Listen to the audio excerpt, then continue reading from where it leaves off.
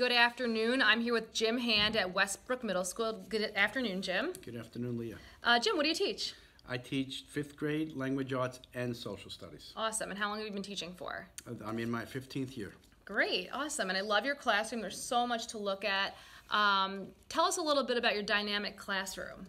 Dynamic classroom is where we try to get uh, the students out of their seats in, in a more moving mode instead of get away from the old lecture and, Yeah. and gra- uh, handout sheets. And, um, so yeah, so it seems to have worked very well this year. They seem to really en- enjoy it, and as you look Yeah. around, you can see So some of the dynamic classroom activities we've done in the past. Yeah.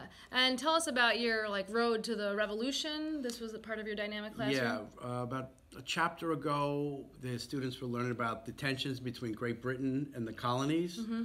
And one particular activity I, I came up with, just I was sitting by myself, just brainstorming, what can I do to make it more dynamic, get them up out of the seats and moving. Mm-hmm. Uh, I gave them six topics from the chapter. Okay. Everything from the Proclamation of 1763 all the way up to the French and Indian War Yeah. and they worked with their table groups and they had to put from what they thought was the least impactful event all the way up to the most significant impactful event. Right. And when I hang, hung the 12 posters up, Yeah.